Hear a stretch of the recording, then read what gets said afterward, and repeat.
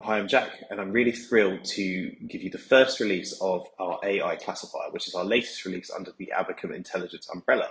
So what this will allow you to do is take large volumes of transactional data and categorize it automatically to save you significant amounts of time.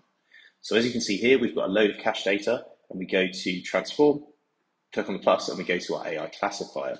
Now, what this will do is it will allow you to either build a brand new model, which will analyze this specific set of data, or you can use pre-trained models. And so you can create a range of different models that have different functions, analyzing different sets of data, which is very, very powerful.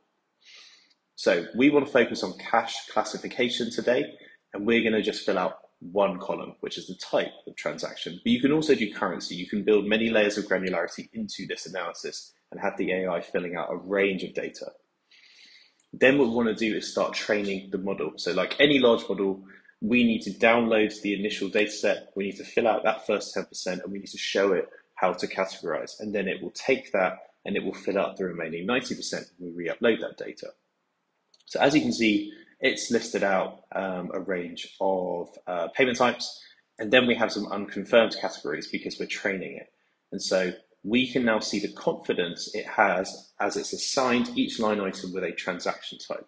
And over time, what we can do is continuously update and improve this and correct it so that its confidence grows and it will save us more and more time every month. So let's say today it saves me five hours. Maybe next month it saves me six. Maybe in six months it'll save me 90% of all that manual workload.